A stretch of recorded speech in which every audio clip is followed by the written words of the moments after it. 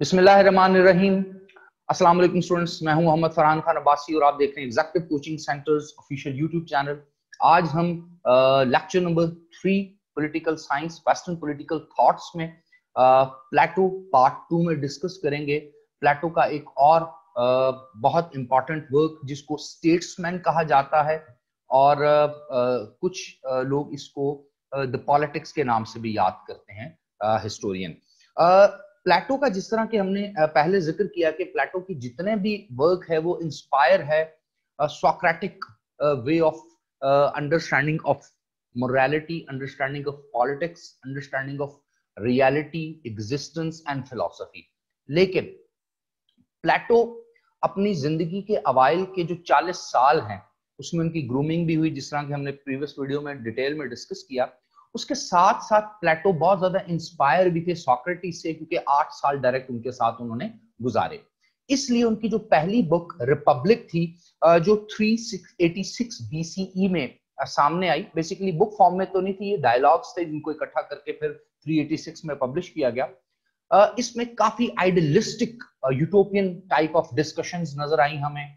Communism की बात की communism of wives communism of property upper two जो स्टैंडर्ड या स्टार्टा थे सोसाइटी के, जिसमें एक विजडम वाला एरिया था, जिसको वो माइंड कहते हैं और कहीं ना कहीं जो उनके मेटाफॉर्स हैं, उसमें उसको वो गोल्ड कहते हैं। सोसाइटी की वो क्लास जिसके पास रीजन और विजडम होता है, उसको गोल्ड कहते हैं। फिर सेकंड जो लेयर वो सोसाइटी की बनाते हैं एक्सिलरी या उसको सिल्वर कहते हैं या मिलिट्री क्लास कहते हैं। और थर्ड क्लास वो फिर मर्चेंट की क्लास कहते हैं या ब्रॉन्ज की क्लास कहते हैं। तो प्लेटो जो है, वो पहली दो क्लासेस कोई गार्डियन क्लासेस भी कहते हैं, जिस तरह के हमने प्रीवियस लेक्चर में अंडरस्टैंड किया। तो इन दो क्लासेस से ही प्लेटो मानते हैं कि कोई ना कोई रूलर आना चाहिए। जिस तरह उनकी रिपब्लिक में फिलोसोफर किंग का कॉन्सेप्ट है तो वो कहते हैं जो किंग है, वो इन दो क्लासेस में से आए। इन्हीं दो क्लासेस क्लासेस के लिए एजुकेशनल सिस्टम भी उन्होंने इंट्रोड्यूस करवाया। इन्हीं दो क्लासेस को वो ये अथॉरिटी भी देते हैं कि वो पॉलिटिक्स करें और वो रूल करें। यही दो क्लासेस हैं जिसमें वो कम्युनिज्म ऑफ़ वाइफ और कम्युनिज्म ऑफ़ प्रॉपर्टी की भी बात करते हैं। लेकिन प्लेटो की जो रिपब्लिक में आइडियल स्टेट बनी, वो प्रैक्टिकेबल नहीं थी। प्रैग्मेटिकली दुनिया में वैसी स्टेट एग्जिस्ट नहीं कर सकती थी। ये प्लेटो को बहुत जल्दी इसका ख्याल आ जाता है। और प्लेटो फिर एक और किताब लिखते हैं जिसका नाम है स्टेट्समैन। बाद में इसको कुछ हिस्टोरियन पॉलिटिक्स भी कहते हैं, द पॉलिटिक्स के नाम से। असल में ये किताब का जो बेसिकली टाइटल है, इसका मतलब क्या है? इसका मतलब है मुदब्बर। एक ऐसा शख्स जो रियासत चला सके। यानी अब प्लेटो कहते हैं कि फिलोसफर किंग तो प्रैक्टिकेबल है ही नहीं इस तरह एग्जिस्ट नहीं कर सकता। तो चलो अपर टू क्लासेस में से जो एक विजडम या माइंड की क्लास है जिसको वो गोल्ड कहते हैं सेकंड एक्सिलरी या ब्रॉन्ज सिल्वर क्लास जिसको वो कहते हैं मिलिट्री क्लास वो कहते हैं इन अपर टू क्लासेस जिनको गार्डियन क्लास भी प्लेटो कहते हैं इनमें से कोई एक आधा स्टेट्समैन अगर uh, किसी रियासत में हो और वो हुकूमत करे तो वो कैसी हुकूमत होगी? तो स्टेट्समैन उनकी वाहिद ऐसी प्रोडक्ट है, उनकी वाहिद ऐसी बुक है जो हम तक पहुँची और जिस किताब में अब वो फिलोसॉफिकली मोरालिटी पे बात नहीं कर रहे, इस किताब में वो किसी भी तरह से विर्चू और नॉलेज के उस लेवल की बात नहीं कर रहे, हालाँकि विर्चू और जस्टिस का ज़िक्र यहाँ पर भी कर रहे हैं, लेकिन वो खास क्लासिफिकेशन हमें नज़र नहीं आती, वो खास आइडियल किस्म का सिस्टम नज़र नहीं आता, बल्कि रियलिटी के करीब तरीन वो एक निज़ाम हमें अपनी इस बुक स्टेट्समैन में बताते हैं और क्योंकि इसका टाइटल ही मुदब्बर है स्टेट्समैन यानी वो शख्स जो रियासत चलाए और जो प्लेटो है इस बुक में, एक और इंकशाफ भी करते हैं कि चूँकि जो फिलोसोफर किंग जैसा जो एक कैरेक्टर है, वो तो दुनिया में एग्जिस्ट नहीं कर सकता और अवेलेबल नहीं हो सकता सोसाइटीज को तो अपने में से अपर टू क्लासेस में से कोई स्टेट्समैन सेलेक्ट कर दिया जाए।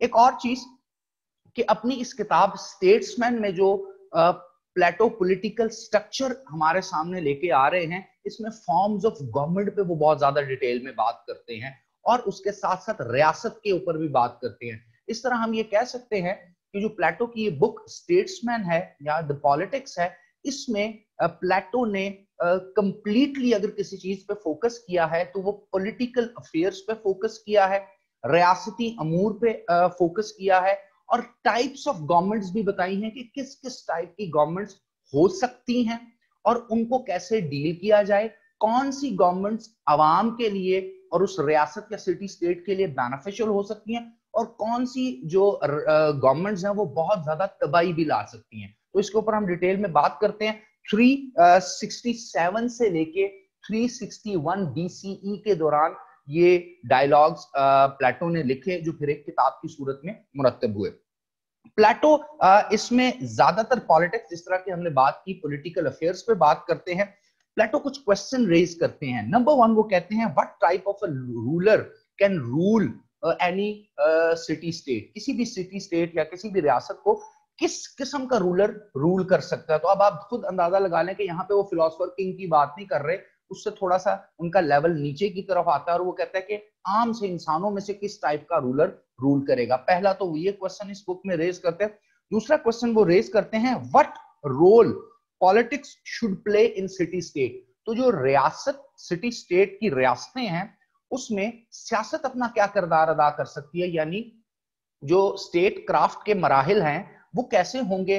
पॉलिटिकल अफेयर्स किसी भी सिटी स्टेट्स में या किसी रियासत में कैसे चल सकते हैं? इसके लिए वो कहते हैं कि पॉलिटिक्स के कुछ एम्स होने चाहिए। अब इन तीनों क्वेश्चंस में अगर आप देखें तो एक रब्त हमें नज़र आएगी। नंबर वन रूलर किस टाइप का होना चाहिए? नंबर टू पॉलिटिक्स का आ, क्या रोल होना चाहिए किसी भी रियासत में? और नंबर तीन जिस पे वो फोकस कर रहे हैं दैट के पॉलिटिक्स किस तरह से बेहतरी ला सकती है? तो यहाँ पर प्लेटो थोड़ा सा फोकस करते हैं उन्हीं आइडियाज़ के ऊपर जो सोक्रेटिक आइडियाज़ थे जो उनकी बुक रिपब्लिक में आए। और प्लेटो का यह मानना है कि जो एम ऑफ़ पॉलिटिक्स है, वो वेलफेयर होनी चाहिए और वेलफेयर तब ही आएगी जब आप मैसेज को एजुकेट करेंगे। यहाँ पे वो कहते हैं कि रोल ऑफ़ पॉलिटिक्स या एम ऑफ़ पॉलिटिक्स होना चाहिए। Educating the people what is virtue हकीकत में नेकी या विर्चू क्या है? Number one and number two educating the people what is justice तो वही वर्चू और वही जस्टिस का कॉन्सेप्ट जिसमें वो रिपब्लिक में एक स्टार्टिफिकेशन बना देते हैं लेयर्स बना देते हैं गोल्ड क्लास बनाते हैं सिल्वर क्लास बनाते हैं ब्रोंज क्लास बनाते हैं, यानी विजडम की एक क्लास बना देते हैं ऑक्सिलरी या आर्मी या मिलिट्री की एक क्लास बना देते हैं और मर्चेंट की एक क्लास बना देते हैं। इसी तरह यहाँ पर वो कह रहे हैं कि अब ये आम लोगों को सिखाना चाहिए हमें। यानी पॉलिटिक्स का काम सिर्फ़ और सिर्फ़ रियासती ढांचे बनाकर, जिस तरह के रिपब्लिक में उन्होंने एक फिलोसफर किंग बना दिया और उसकी ऑटोनॉमी बना दी और वो अबव द लॉ उन्होंने उसको बना दिया और बताया कि वही सारे मामला करेगा और एजुकेशन सिस्टम जो है उससे बेहतरीन फिलोसफर किंग फिर बन के आ जाएगा और इस तरह ये सिलसिला चलता चला जाएगा। सोसाइटी के अपर टू क्लासेस में कॉम्युनिज्म होना चाहिए कॉम्युनिज्म ऑफ़ वाइफ होना चाहिए कॉम्युनिज्म ऑफ़ जो है प्रॉपर्टी होना चाहिए और अपर टू क्लासेस को वो गार्डियन क्लास कहते हैं और उसी क्लास के जो ज़्यादातर गवर्नमेंट के अफेयर है उसी को वो कंट्रोल करेंगे, वही सिविल सर्विस में होंगे, वही जुडिशरी में होंगे।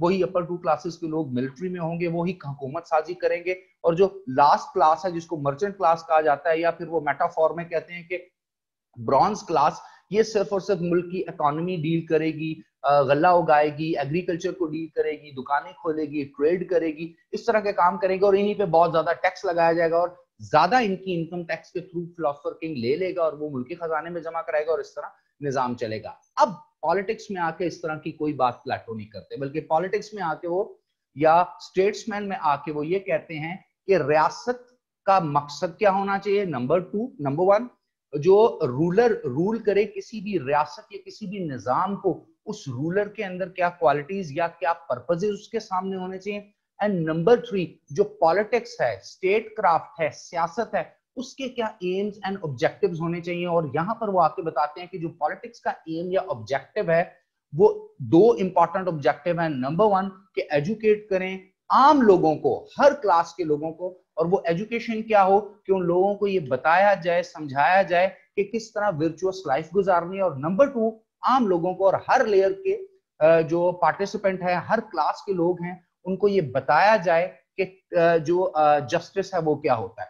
इस किताब में प्लेटो कुछ क्लासिफिकेशन करते हैं गवर्नमेंट्स की नंबर वन और नंबर टू प्लेटो बताते हैं कि सिक्स किस्म की स्टेट्स भी एग्जिस्ट करती हैं और हुकूमतें भी एग्जिस्ट करती हैं।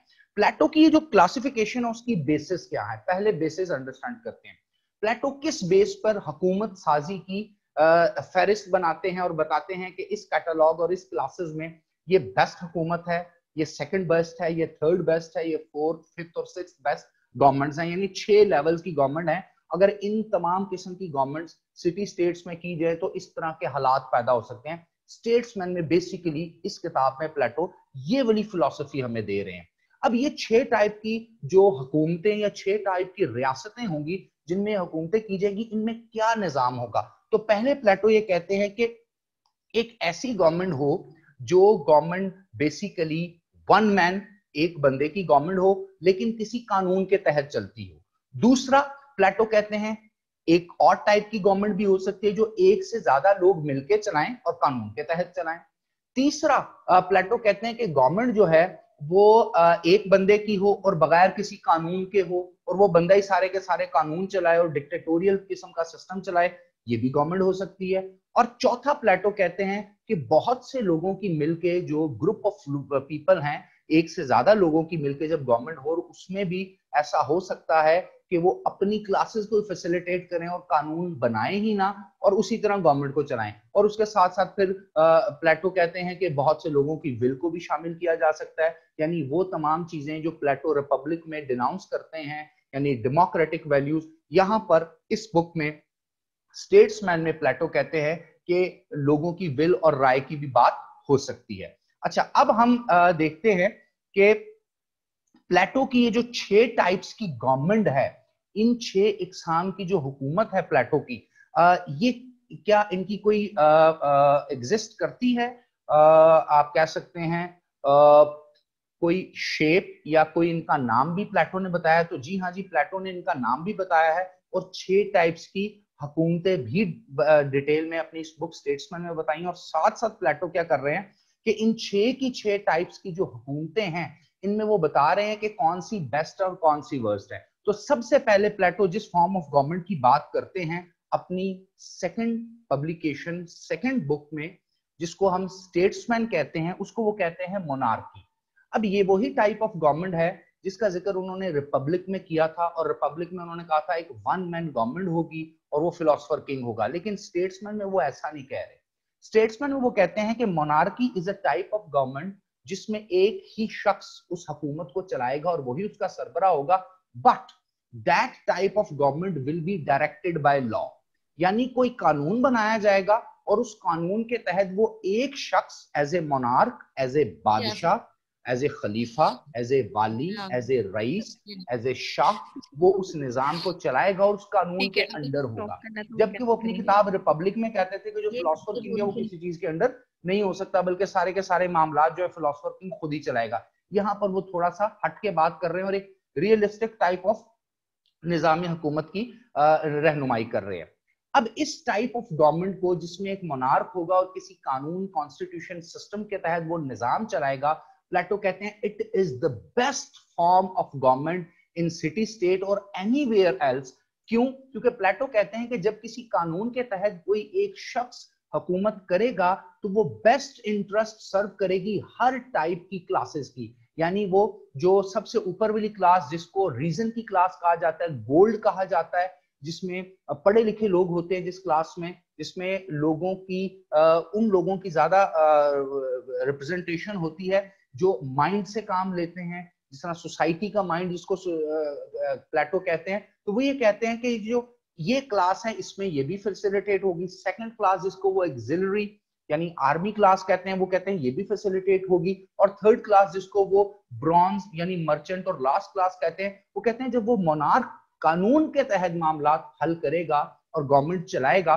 तो ये क्लास भी फैसिलिटेट होगी और एक बेहतरीन स्टेटस स्टेटस हासिल होगा सोसाइटी को, जिसको प्लेटो अपनी बुक रिपब्लिक में भी यूडायमोनिया कहते हैं, खुशी कहते हैं इतमान कहते हैं सेटिस्फेक्शन कहते हैं। जो मुआशरे में जब आएगी तो मुआशरा खुशी से ज़िंदगी गुजारता है।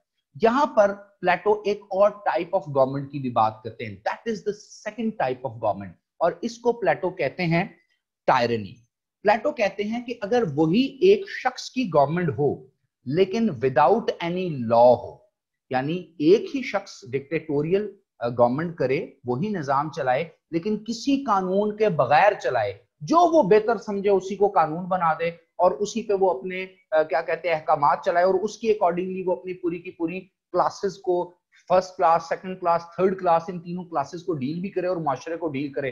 तो प्लेटो इसको कहते हैं टायरनी टायरनी का मतलब होता है जुल्म की हुकूमत। प्लेटो ये कहते हैं कि जब ऐसी हुकूमत किसी भी सिटी स्टेट में बन जाएगी तो बहुत ज़्यादा चांसेस हैं कि सोसाइटी का जो बड़ा पोर्शन है, ज़्यादा पॉपुलेशन का जो एरिया है माशरे के अंदर, वो किसी भी सूरत वेलफेयर नहीं हासिल कर सकता गुडनेस नहीं हासिल कर सकता यूडाइमोनिया नहीं हासिल कर सकता। और प्लेटो इसको कहते हैं the worst form of government यानी स्टेट्समैन में ये दूसरी टाइप ऑफ़ गवर्नमेंट जो प्लेटो कहते हैं, दुनिया में एग्जिस्ट कर सकती है। प्लेटो कहते हैं it is the worst form of government और हमने तारीखी तौर पे बहुत से ऐसे टायरेंट्स देखे और बहुत से ऐसी टायरनी की हुकूमतें देखी, जिसमें बहुत ज़्यादा वर्स्ट किस्म के जुल्म किए जाते थे, क्योंकि वो जो बादशाह या वो जो वन मैन रूलर होता था, वो किसी कानून के तहत तो निज़ाम को चलाता नहीं था। तीसरी फॉर्म ऑफ़ गवर्नमेंट जो प्लेटो बताते हैं, किसी भी रियासत में एग्जिस्ट कर सकती है या हो सकती है इसको प्लेटो कहते हैं अरिस्टोक्रेसी नाउ अरिस्टोक्रेसी क्या है? हमने देखा कि जो फ़र्स्ट फॉर्म ऑफ़ गवर्नमेंट है, जिसको best form of government Plato ने कहा, वो थी मोनार्की उसमें एक शख्स होता है और कानून के तहत सिस्टम को चलाता है. सेकेंड फॉर्म टायरनी जिसमें एक ही शख्स हुकूमत चलाएगा, लेकिन वो किसी कानून, किसी लॉ के तहत नहीं चलाएगा. अरिस्टोक्रेसी में प्लेटो बताते हैं कि ये वो टाइप ऑफ़ गवर्नमेंट है जिसमें एक से ज़्यादा लोग मिल के कंसल्टेशन के साथ हुकूमती मामला चलाते हैं और वो चार, पाँच या छह लोग हो सकते हैं फ्यू पीपल और वो मिल के रियासती अमूर को चलाएँगे और किसी कानून के तहत चलाएँगे। यहाँ बड़ा इंपॉर्टेंट पॉइंट है कि अरिस्टोक्रेसी और मोनार्की में एक इंपॉर्टेंट रेलेवेंस ये है कि मोनार्की में भी जो सिंगल रूलर है, वो किसी कानून के तहत रियासत को चलाएगा, अपनी गवर्नमेंट को चलाएगा, और अरिस्टोक्रेसी में भी एक से ज़्यादा लोग फ्यू पीपल मिलकर जब किसी हुकूमत को चलाएँगे तो वो भी किसी कानून के तहत चलाएँगे। प्लेटो कहता है it is the second best form of government क्योंकि पहली फॉर्म मोनार्की है, जिसमें एक रूलर होगा और किसी कानून के तहत रियासत को चलाएगा। सेकेंड बेस्ट फॉर्म अरिस्टोक्रेसी है, जिसमें चंद लोग मिलकर एक हुकूमत चलाएँगे, लेकिन वो किसी कानून के तहत चलाएँगे। इसके साथ प्लेटो कहते हैं fourth form of government is also worst form of government that is oligarchy now what is oligarchy oligarchy is also a form of government जिसमें फ्यू पीपल चंद लोग मिलकर एक हुकूमत साजी करते हैं, लेकिन वो हुकूमत किसी कानून के ताबे नहीं होती, किसी लॉ के अंडर नहीं होती। कोई लॉ एग्जिस्ट नहीं करता, बल्कि वो लोग, वो जो हुकूमत चला रहे होते हैं, वो चंद लोगों के पर्सनल इंटरेस्ट को सर्व कर रहे होते हैं, क्योंकि कानून तो कोई एग्जिस्ट नहीं करता तो जो प्लेटो है, इसको second worst form of government भी कहते हैं, क्योंकि first worst form of government tyranny थी, जिसमें एक बंदा बगैर किसी कानून के निज़ाम चला रहा था, और ओलिगैरकी में चंद लोग मिलकर हुकूमत साजी कर रहे हैं, और इस हुकूमत साजी में वो बगैर कानून के हुकूमत को चला रहे हैं। और प्लेटो यहाँ पर अपनी बुक स्टेट्समैन में कहते हैं कि टायरनी और ओलिगैरकी में। सिर्फ़ फ़र्क इतना है कि जो ओलिगैरकी है, इसमें वो चंद लोग, चूँकि सोसाइटी के चंद डिफरेंट हलकों से भी हो सकते हैं डिफरेंट ग्रोहों और खानदानों से भी हो सकते हैं तो वो बेनिफिट कहीं ना कहीं डिस्ट्रीब्यूट ज़रूर करेंगे। जबकि टायरनी में तो एक ही शख्स है, जो उसको अच्छा लगा, वही कानून है। जो उसको बुरा लगा, उसको जिस तरह चाहा, उसने सजा और जजा का निज़ाम बना दिया। लेकिन ऑलीगैरकी में वो चंद लोग मशवरा कम से कम ज़रूर करेंगे और उस मशाफरत के साथ वो कोई ना कोई फैसला साजी करेंगे। बेशक कानून के बगैर वो डे टू डे अफेयर्स नए से नए कानून या खुद साख्ता किस्म के रूल्स रेगुलेट रेगुलेशन इंप्लीमेंट करके वो सिलसिले को चलाएँगे। Now therefore it is called the second worst form of government अब हम आ जाते हैं third best form of government और third worst form of government यानी पाँचवें और छठे नंबर पे। तो पाँचवें नंबर पे प्लेटो कहते हैं, एक ऐसी हुकूमत भी हो सकती है अगर किसी मुल्क में मोनार्की या अरिस्टोक्रेसी नहीं है। यानी मोनार्क एक सिंगल रूलर विद कॉन्स्टिट्यूशन या विद अ लॉ अगर वो कुछ चल रहा है तो बेस्ट फॉर्म है। और अरिस्टोक्रेसी एक से ज़्यादा लोग मिलके कंसल्टेशन से हुकूमत बना रहे हैं बट अंडर द लॉ बना रहे हैं। तो ये तो दो बेहतरीन best first and second type of government होगी। Third best type of government Plato कहते हैं, अपनी बुक स्टेट्समैन में इज़ कॉन्स्टिट्यूशनल डेमोक्रेसी नाउ ये क्या है? यहाँ पर पहली बार प्लेटो ने थोड़ा सा आप समझ ले अपना टिल्ट शो किया है towards the will of the people हालाँकि प्लेटो अगर आप इनकी बुक रिपब्लिक पढ़े तो ऑल टुगेदर कहीं भी डेमोक्रेसी के हक में थे ही नहीं।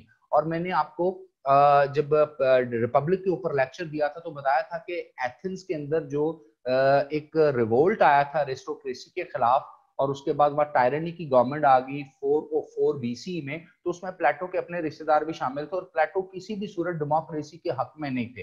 लेकिन अपनी बुक स्टेट्समैन में यहाँ पर प्लेटो 367 टू 361 बीसी इन छह सालों में जो उनके जहन में, उनके हालात में, उनकी सोच में तब्दीली ट्रांसफॉर्मेशन आती है, उसकी झलक हमें देते हैं और कहते हैं कि अगर रियासत में first two form of government नहीं हो सकती, यानी मोनार्की और अरिस्टोक्रेसी नहीं हो सकती। तो फिर बजाय टायरनी या ओलिगैरकी की हुकूमत बनाने के, लोगों को चाहिए वो मिलजुल कर कुछ ऐसा निज़ाम बनाए, जिससे उनके विल के अकॉर्डिंगली गवर्नमेंट बने, और वो जो गवर्नमेंट हो वो उन लोगों की रिप्रेजेंटेटिव गवर्नमेंट हो। यानी डेमोक्रेसी की बात कर रहे हैं। अब उस गवर्नमेंट को चलाया जाएगा कैसे? तो प्लेटो कहते हैं उसके लिए वो लोग एक आइन बना लें, एक कॉन्स्टिट्यूशन बना लें।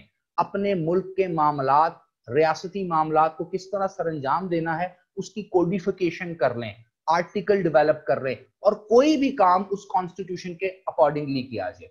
प्लेटो कहते हैं ये third best form of government है, क्योंकि एक कॉन्स्टिट्यूशन बन जाएगा लोगों के रिप्रेजेंटेटिव आ जाएँगे और वो उन रिप्रेजेंटेटिव में से किसी एक को अपना चीफ बना लेंगे। जिस तरह आजकल पार्लियामेंट्री और प्रेसिडेंशियल सिस्टम है। प्रेसिडेंशियल सिस्टम में प्रेसिडेंट चीफ एग्जेक्टिव होता है और पार्लियामेंट्री डेमोक्रेसी में प्राइम मिनिस्टर चीफ एग्जेक्टिव होता है। तो इस तरह वो अपने अमूर सिटी स्टेट चला सकती है। यहाँ पर प्लेटो कहते हैं, जो सिक्स फॉर्म ऑफ़ गवर्नमेंट है, वो क्या है? वो the most worst form of government है that is called democracy without any constitutional यानी अनकॉन्स्टिट्यूशनल डेमोक्रेसी यहाँ पर प्लेटो कहते हैं कि अगर लोग मेजॉरिटी में हों, किसी सिटी स्टेट में, और वो अपनी मेजॉरिटी की बेस पे कुछ लोगों को इलेक्ट कर ले, अपना रिप्रेजेंटेटिव बना ले, और बगैर किसी कॉन्स्टिट्यूशन के, बगैर किसी कोडिफिकेशन के, बगैर किसी कानून साजी के उनके रिप्रेजेंटेटिव हुकूमत चला रहे हों, जिस तरह के ओली गैरकी में हो रहा था तो वो रिप्रेजेंटेटिव सिर्फ़ और सिर्फ़ वेलफेयर करेंगे हायर क्लास को अपर क्लासेस को, यानी वो उन क्लासेस को सोसाइटी में वेलफेयर करेंगे जो पैसों के एतबार से सोशल स्टेटस के एतबार से रिकग्निशन के एतबार से सोसाइटी में ऊपर हैं। तो ज़्यादातर लोग वेलफेयर हासिल नहीं कर सकते और इसको Plato third worst form of political government भी कहते हैं पॉलिटिकल सिस्टम भी कहते हैं, और प्लेटो का मानना ये है, ये थर्ड वर्स्ट फॉर्म इसलिए है कि कम से कम इसमें किसी टायरेंट की तरह, किसी एक की हुकूमत नहीं है, किसी ऑलीगैर्क की तरह चंद लोगों की हुकूमत नहीं है, बल्कि ज़्यादातर लोगों के रिप्रेजेंटेटिव आए हैं, बेशक वो बगैर किसी कानून के सिलसिला चला रहे हैं। अब यहाँ पर जब हम एनालिसिस अंडरस्टैंड करने की कोशिश करते हैं कि प्लेटो की बुक जो है, जिसमें प्लेटो डिटेल में एक पूरे का पूरा पैराडाइम शिफ्ट ले लेते हैं कि रिपब्लिक में वो कहते थे एक फिलोसफर किंग होना चाहिए और कम्युनिज्म होना चाहिए और सोसाइटी में लेयर्स होनी चाहिए और अपर टू क्लासेस सोसाइटी की जिसको वो गार्डियन क्लासेस कहते हैं, उनके अलावा किसी की हुकूमत नहीं होनी चाहिए और जो जितना भी निज़ाम है, वो आइडियल किस्म का निज़ाम होना चाहिए कंट्रोल्स बड़े टाइट किस्म के होने चाहिए और वो अपर क्लासेस के पास होने चाहिए। किसी सूरत भी डेमोक्रेटिक वैल्यूज़ नहीं होनी चाहिए।